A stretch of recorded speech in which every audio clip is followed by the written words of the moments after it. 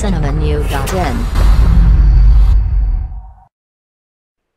விஜய் தொலைக்காட்சியில் big pass நிகழ்ச்சி கடந்த இரண்டு வாரங்களாக ஒளிபரப்பாகி வருகிறது. இதில் கலந்து கொண்ட நடிகை ஓவியா மற்றும் ஆரவ் அடிக்கிற லூட்டிக்கு அளவே இல்லாம போயிடுச்சு. நேற்று ஒளிபரப்பான நிகழ்ச்சியில் நடிகை ஓவியா வெளியேறுவதாக இருந்தது. ஆனாலும் நடிகர் கஞ்சா கருப்பு வெளியேறினார். இதனால் ஓவியா தப்பித்து விட்டேன் என ஆரவிடம் தெரிவித்தார். மேலும் நான் உள்ளே இருப்பதால் சந்தோஷப்பட மாட்டியா என ஆரவிடம் கேட்டார். அதற்கு எனக்கு மனசுக்குள் ஒரு விதத்தில் சந்தோஷம்தான் என்றபடி இரண்டு பேரும் நடந்து கொண்டே பேசிய சம்பவம் அவர்களிடையே இருக்கும் காதலை வெளிப்படுத்தும் விதமாக அமைந்துள்ளது.